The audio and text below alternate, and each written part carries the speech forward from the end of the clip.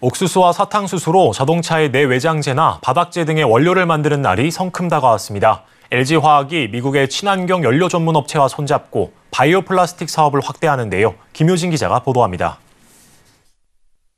LG화학이 세계 최초로 옥수수와 사탕수수 등에서 발효 생산된 바이오 에탄올로 바이오 프로필렌을 생산하는 ETO 기술 상업화에 나섭니다. 프로필렌은 자동차 내외장재와 바닥재, 기저귀 등에 사용되는 PP, 알코올 등의 원료가 됩니다. LG화학은 오늘 북미 친환경 연료 전문 업체 지보와 오는 2026년까지 바이오 프로필렌을 상업화하기 위한 공동 연구 개발을 체결했습니다.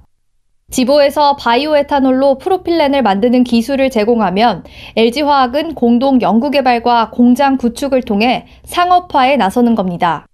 지보는 식물성 기반의 다양한 원료로 지속 가능 항공유와 바이오 플라스틱 생산에 필요한 원천 기술을 보유한 친환경 에너지 기업입니다.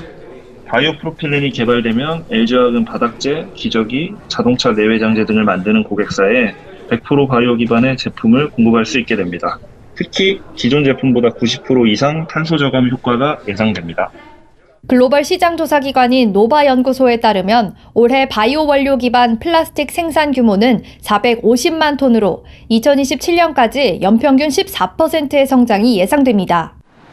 LG화학은 바이오 원료 중심의 사업 포트폴리오를 강화해 미래 지속 가능한 친환경 사업을 지속적으로 확대해 나간다는 계획입니다.